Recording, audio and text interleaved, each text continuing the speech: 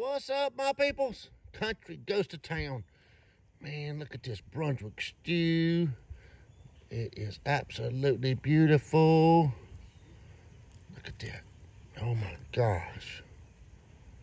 Beautiful.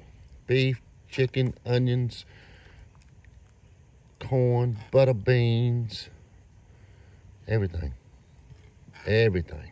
Eight gallons. Eight gallon pot. Slam full. Gotta let it cook down now for about another hour. And she'll be ready. And then we'll can it up. Yep. All right. Thank y'all for watching. I just want to show y'all what we're doing. And uh, it's going to be good eatings. Some good eating this winter. Yeah, we try to do one a year.